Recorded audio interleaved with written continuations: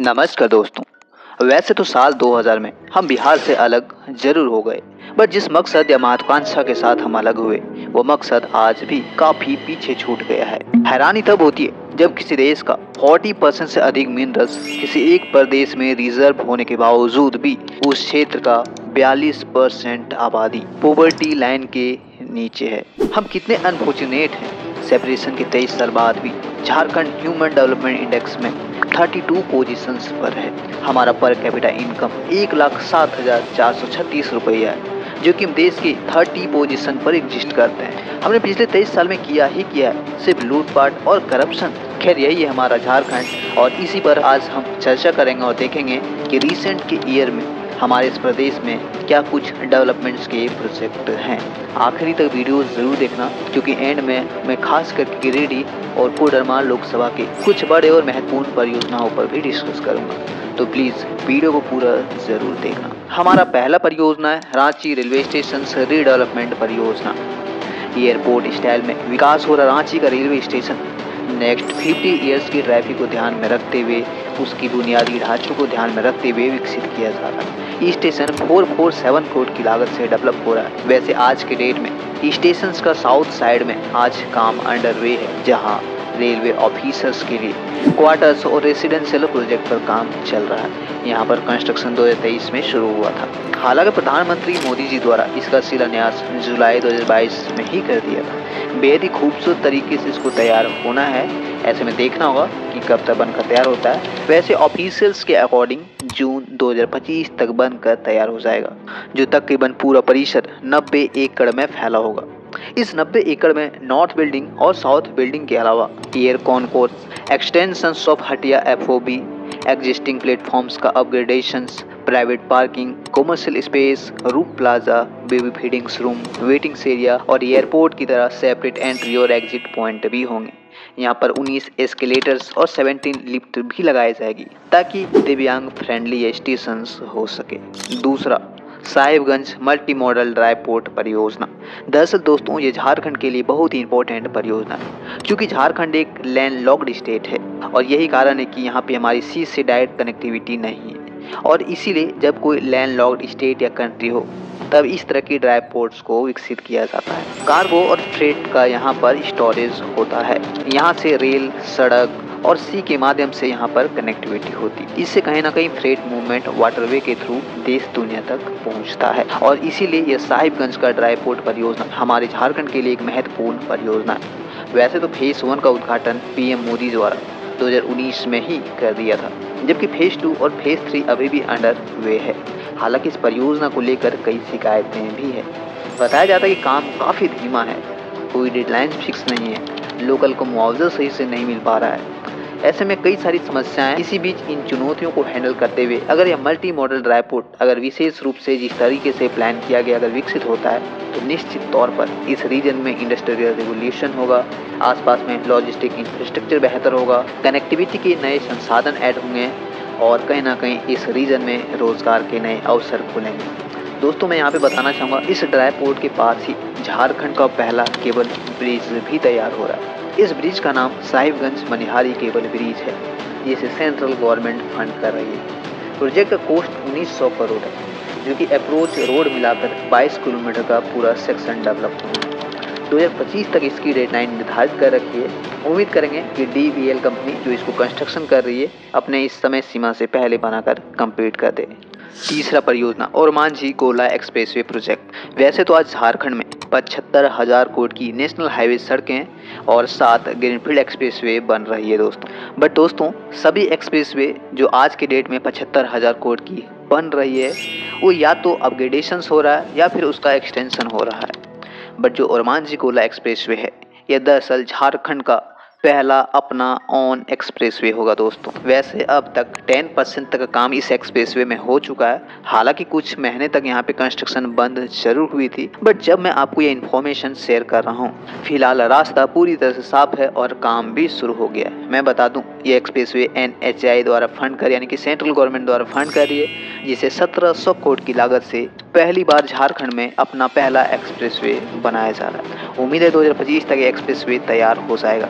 जिसका phase one Bokaro के जेना मोड़ से गोला तक बनाया जा रहा है, वहीं फ़ेज़ टू गोला से लेके और मांझी के बीच बनेगा, जो पूरी तरह से झारखंड का अपना ग्रीन ग्रीनफील्ड एक्सप्रेसवे होगा और यह झारखंड का पहला अपना एक्सप्रेसवे भी होगा, जिसकी लंबाई 60 किलोमीटर होगी और इसे फोर लेन के तर्ज पर विकसित किया जाएगा। वहीं इसके दोनों ओर दो दो लेन की सर्विस रोड भी प्रस्तावित की गई, जो कि यह पूरा एक कॉरिडोर के रूप में आपको नज़र आएगा। चौथा परियोजना, Gumla Pathalgaon high speed road परियोजना।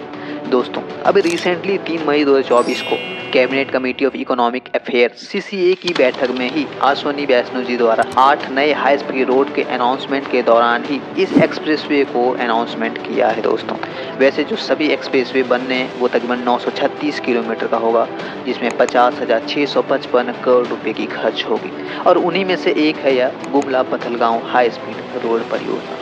दरअसल यह छत्तीसगढ़ के जसपुर डिस्ट्रिक्ट के पथलगांव से झारखंड के गुमला तक प्रस्तावित है। इसे फोर लेन के तर्ज पर विकसित किया जाएगा, जो कि हाइब्रिड इम्यूनिटी मोड के तहत, यानी कि एच एम के तर्ज पर यह विस्तार किया जाएगा।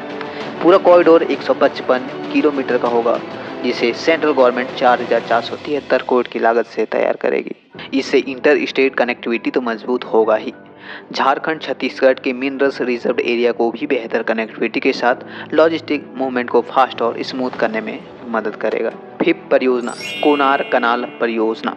वैसे कहने के लिए, ये झारखंड का मोस्ट अवेटेड परियोजना में से एक है, जिसका कंस्ट्रक्शन पिछले 45 साल से हो रहा है। बट चूँकि दोस्तों, जब मैं वीडियो शेयर कर रहा हूँ तो मैं आपको बताना चाहूँगा 28 अगस्त 2019 को तत्कालीन मुख्यमंत्री रघुवर दास जी द्वारा इस नहर का उद्घाटन का पानी ट्रायल भी किया गया था।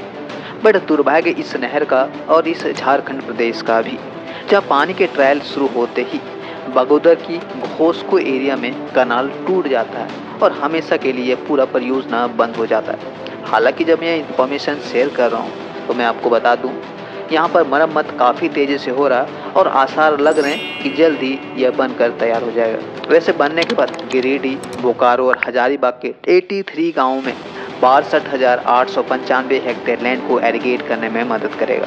वैसे मैं बता दूँ 1978 में इस परियोजना को शुरू किया गया था। उस वक्त इसकी लागत 12 करोड़ थी, बट आज इस परियोजना की लागत दो करोड़ हो गई उम्मीद करेंगे अगले कुछ सालों में या 45 साल पुराना इंतज़ार हमारा खत्म होगा और गिरेडी हजारीबाग और बोकारो को किसानों को लाभ मिलेगा। ये तो खैर पाँच महत्वपूर्ण परियोजनाएँ थी। बट ऐसा नहीं है कि झारखंड में इतना ही प्रोजेक्ट है। इसके अलावा झारखंड में नई शिक्षा पॉलिसी के तहत सभी डिस्ट्रिक्ट्स में नर्सिंग कॉलेज ओपन करने पर कवायद शुरू हो चुकी है। जल्दी इस पर पॉजिटिव न्यूज़ आपको सुनने को मिलेगा। सत्रह हज़ार छह सौ करोड़ की रेल परियोजना आज झारखंड में बन रही है। पचहत्तर हज़ार करोड़ की सड़क परियोजना पर आज काम हो रहा है। झारखंड में नौ प्राइवेट कंपनियाँ द्वारा बारह हज़ार करोड़ रुपए की इन्वेस्टमेंट प्रपोजल्स भी सामने आई है। जल्दी मुख्यमंत्री एमओयू साइन कर सकते हैं। झारखंड में पहली बार सत्रह नए तकनीकी संस्थान ओपन होने जा रहे हैं, जिनमें से अड़तीस पुराने कॉलेजेस का भी बिल्डिंग्स रेनोवेट होगी। जिसमें गिरिडीह जमुआ और कोडरमा के भी कई कॉलेजेस शामिल हैं। दस से अधिक एरीगेशन प्रोजेक्ट आज झारखंड में अलग अलग रीजन में मंजूरी अप्रूव्ड है। प्रधानमंत्री जनपाति आदिवासी न्याय महाअभियान योजना के तहत इक्यानवे नए आंगनबाड़ी सेंटर द्वारा ओपन किए जाएँगे झारखंड के अलग अलग रीजन्स में, जबकि रांची में आईआईएम और अमिटी का नया कैंपस भी आज तेज़ी से बन रहा है। जमशेदपुर का मांगो फ्लाईओवर से लेकर, रांची का साइंस सिटी रांची का कांटाटोली फ्लाईओवर रांची का ring road, Ranchi smart city जैसे अनगिनत परियोजनाएँ आज झारखंड में बन रहे हैं। बट देखने वाली बात यह है कि हमारे गिरिडीह रीजन्स में क्या बदलाव हो रहे हैं तो मैं आपको बता दूँ। गिरिडीह मेन रोड का चौड़ीकरण होना है, जो कि फोर लेन की तर्ज पर विकास किया जाएगा। गिरिडीह बाईपास का टू लेन पेप्ड शोल्डर किया जाएगा। पीर टाण में मेगा एरीगेशन प्रोजेक्ट को मंजूरी मिल गई और ये मंजूरी अभी फरवरी में ही झारखंड कैबिनेट द्वारा अप्रूव किया है। यह परियोजना पाँच सौ इक्यावन करोड़ की है, जो कि कुम्हरलालों के पास यह परियोजना बनेगा। बराकर मल्टीफंक्शनल डैम परियोजना भी शामिल है। 6000 करोड़ की लागत से इसको बनाया जाएगा, जो कि भाल पहाड़ी और चड्डी पहाड़ी के बीच बड़ाकर नदी के पास विकसित किया जाएगा, जो कि टिलैया मैथन के बाद इस प्रकार का यह तीसरा बड़ा डैम परियोजना होगा। कहीं ना कहीं रिसेंट के ईयर में झारखंड में बदलाव के आसार दिख रहे हैं। उम्मीद करेंगे झारखंड गवर्नमेंट और सेंट्रल गवर्नमेंट मिलकर काम करेगी और इसी तरह नए नए परियोजनाओं को भारत सरकार और स्टेट गवर्नमेंट इम्प्लीमेंट करेगी। उम्मीद करेंगे जल्दी हमारे स्टेट की भी दुर्दशा बेहतर होगी। चलिए आज की छोटी सी इन्फॉर्मेशन में इतना ही। वीडियो अच्छी लगी तो प्लीज़ शेयर ज़रूर करें। जय हिंद दोस्तों।